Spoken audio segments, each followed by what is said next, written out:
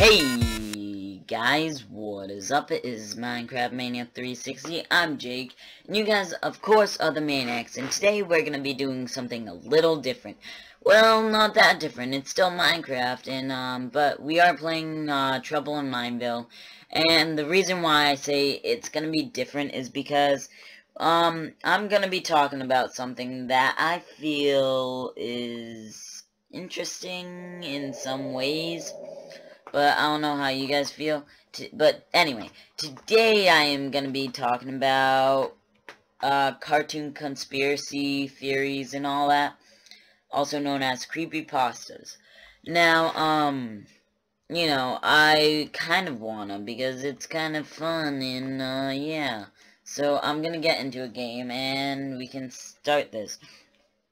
So, the first creepy pasta thing I wanna talk about is, well, is uh, the Rugrats theory. If you guys don't know Rugrats, Rugrats is a old cartoon Nickelodeon show, and um, it's where these babies uh, named Chucky, Lily, Lou, I don't know, but Tommy, Angelica, and um, they're, you know, babies, of course. Uh, but they have adventures and all that. Well, what they see as adventures. But, um, the theory... the theory about this is, uh, well, um, if you know the show, you know that Angelica is a little bit nutty in some ways. Uh, but, um, the Rugrats theory, it it takes it to a little whole new level. And I don't know why I said little, but anyway. Um, so, uh, the Rugrats really were a figment of Angelica's imagination. Uh, really, Chucky, um, died a long time ago, along with his mom, and, um, and, uh, basically his mom died in a car accident, so you would assume Chucky died. But um basically what um what it's what I'm saying is he died in a car accident. That's why his dad um Chaz is always so nerve-wracking and so shy. Uh and um Chuck Tommy uh, is or was a stillborn that's why Stu is constantly in the basement making toys for the son who never had a chance to live.